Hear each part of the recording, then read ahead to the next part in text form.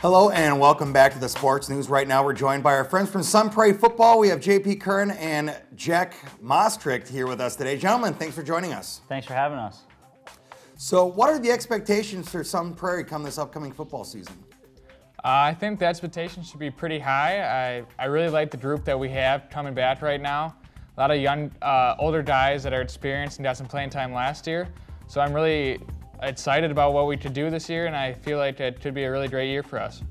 And you guys are opening up the season against La Follette. What is the team doing to prepare and get ready for the kickoff?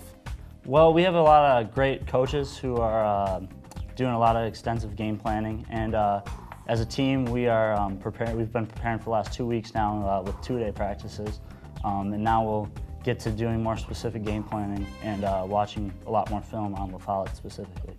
Now, football is the ultimate team sport. All 11 guys have to be on the same page while they're on the field. What are you guys doing to build chemistry, come together as a team so you can perform on the field? Uh, we're doing a lot of things to build chemistry. Uh, just recently, last week, we took a break from practice, and as a team, we all went bowling. And that was just a great experience. Everyone had fun together, together, get to know each other a little bit better. And I mean, team chemistry is such a key thing to have, and it can really affect the outcome of your season. And I feel like so far it's been pretty good. Well, coming up this season, there's a milestone ahead for Sun Prairie. We understand you guys are going for your 500th win as a program.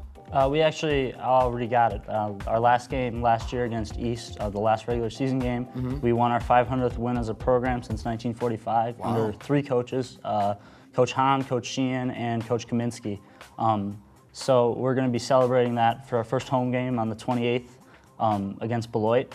And uh, that'll be really cool. We'll have guys from every decade who have been on the Sun Prairie team wow. since 45, so 40s, 50s, all, all the way up till currently. And then um, that'll also be our youth, youth night, so that'll be past, present, and future, all at Ashley Field. Uh, it'll be a lot of fun. Very impressive. Now, as far as you guys concerned, looking ahead, what are the goals for the football team? For the football team, Coach Kaminsky always preaches three goals. First, you gotta get five wins so you can get into the playoffs. Mm-hmm. Second, we want to contend for the Big Eight championship, and we feel like that's a reachable goal. And the third is make a good run in the playoffs and hopefully get that state championship. Understandable. Well, gentlemen, we want to wish you good luck on the upcoming season. Thank you so much for joining us here on the Sports News today. Thanks for having Thank us. You.